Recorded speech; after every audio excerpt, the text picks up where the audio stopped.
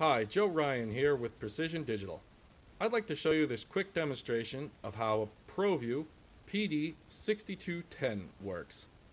Let's take a look at the different parts of this system. On the left, we have a PD9502 signal generator. It's used to generate a 4 to 20 milliamp signal, which we bring into our ProVu PD6210. This batch controller can have to four relays on board, and on the front has menu, start, batch, and stop keys. We'll talk more about that in a moment. Connected via an M-Link cable, I have two expansion modules here.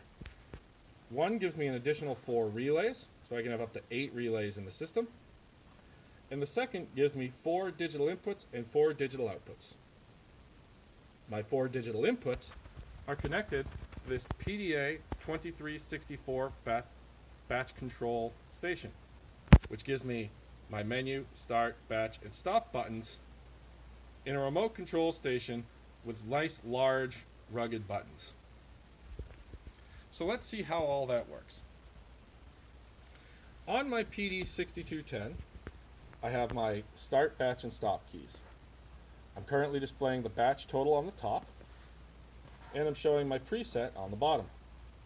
I can change what displays on the bottom by pressing the stop key while in stop mode, so I could see my grand total, my batch count, or my preset value.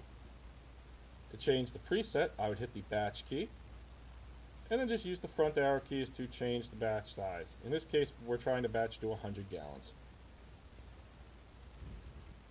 To start the batch, all I need to do is press the start key. When I do, I'm going to see relays 1 and 2 appear in my indicator windows, letting me know that relay 1 and 2 have triggered. This is set up for a dual stage batch controller. And I have relay 2 programmed to close 20 gallons before the end of the batch, so that the batch will finish with only one relay on. So let's hit the start key and see what happens. You'll notice my top window is now showing me my batch total. My bottom window is showing me my preset. And I have a 1 and a 2 indicator here showing me that those are the two relays that are currently triggered.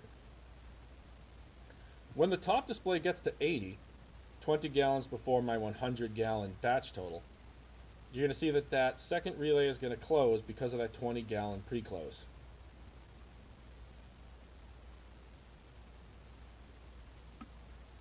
Now it's going to finish the batch with only one relay closed until it gets to 100 gallons. If I want to restart the batch, I just hit the start key again and it starts back over from zero. If I don't want to use my front panel push buttons, I have the remote control station configured, so I can just press the stop key here if I wish to pause the batch, and if I want to cancel it completely then, I can hit the stop key. If I start a new batch, and I decide I want to pause the batch, you'll notice it says pause, and then to restart, all I have to do is hit the start key again. And that's all there is to the PD6210 batch controller.